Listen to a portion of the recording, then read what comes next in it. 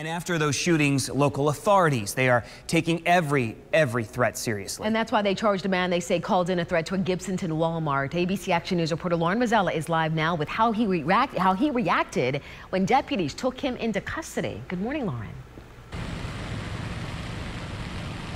Uh, good morning, and we have just learned, Dia, that he is in custody on a temporary mental health hold. Deputies tell us that a call came in here to this Walmart in Gibsonton on Sunday. The person on the other end of the line threatened to shoot up the store.